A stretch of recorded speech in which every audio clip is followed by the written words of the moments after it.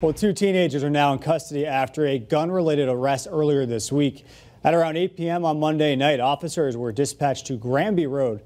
Police say they received reports of a disturbance involving a gun. And when police arrived there to that scene, they saw a black Nissan Sentra speeding out of the parking lot. Officers then conducting a traffic stop. While searching that car, police found several bags of marijuana along with other drugs. Those suspects are both now facing a slew of charges. Also new at noon, there were several break-ins last night.